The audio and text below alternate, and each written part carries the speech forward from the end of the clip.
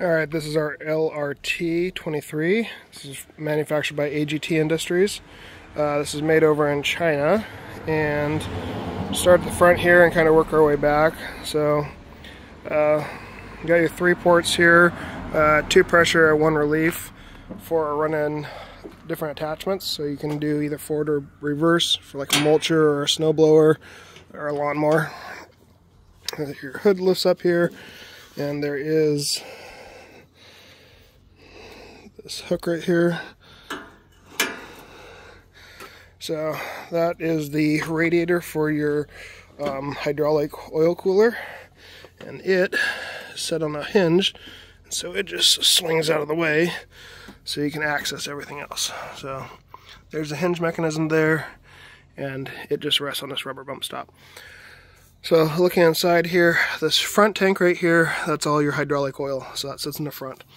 In the middle, you have your battery strapped down, and then you have a dual pump setup on this. So this thing uh, has two pumps here. So idea being one drives one track system, the other drives the other, so you have plenty of flow.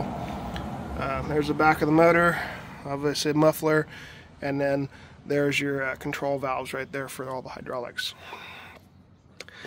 So, and there's the electric fan on this. Uh, there's no on and off switch on this. Whenever it's running, this fan is uh, pulling air from the engine compartment and blowing it out. So it's blowing heat out of the top of this.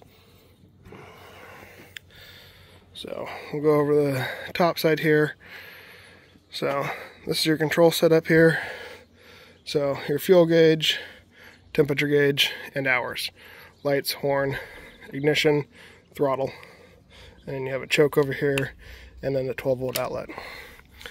Up top, this is for your attachments. So say I want to run like a tiller or something that is continuous flow, I can pull it down, pull it over, it's held in place here, and it has continuous flow in that direction. If I want to go the other way, I just go up and over, and that will give me flow in the other direction. Uh, controls. So this controls your track on this side, so this is your left side.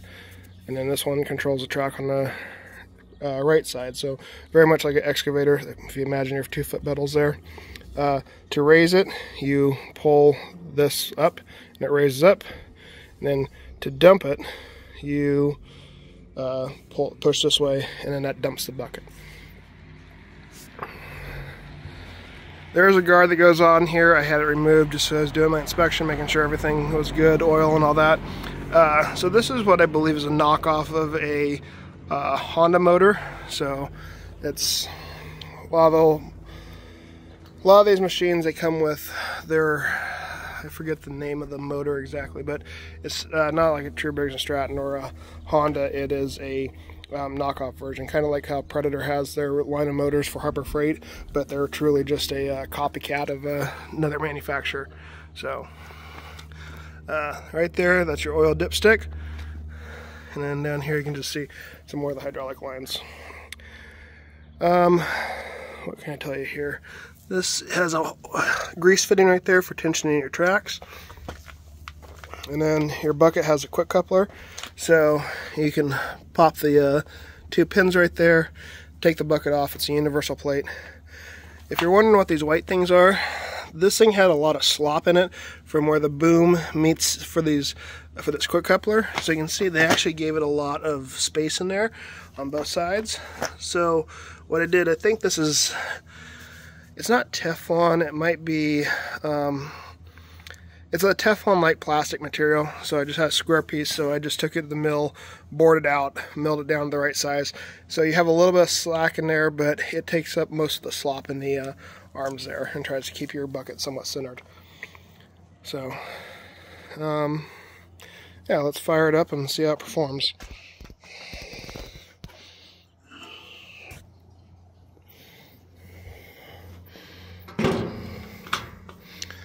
So that's what it looks like there with the hood down. And at your bucket, you got tie down brackets on the front and on the back side here. Also, this step does fold up, so it's out of the way. So, starting it, you have a battery switch that's on. Hear the fan fire up. you pull your choke.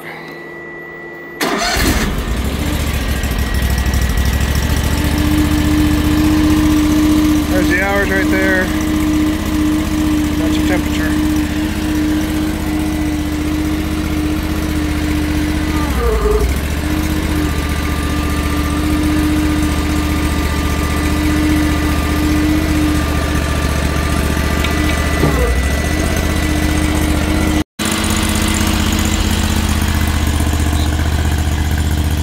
there it is at full extension.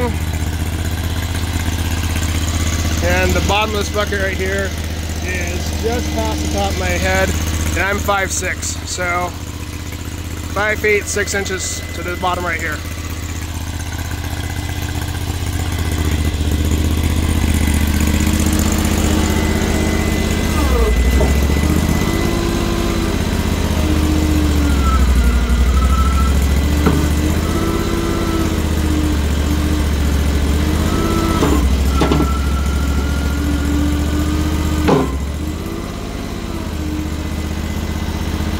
I'm to do my best to operate this thing, so I apologize if the camera gets a little unsteady.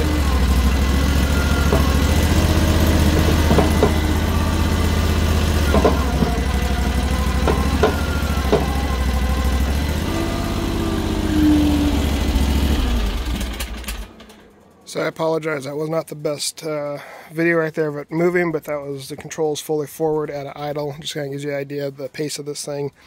it does move at a pretty good walking clip. I mean, it will, you know, get up and move. Um,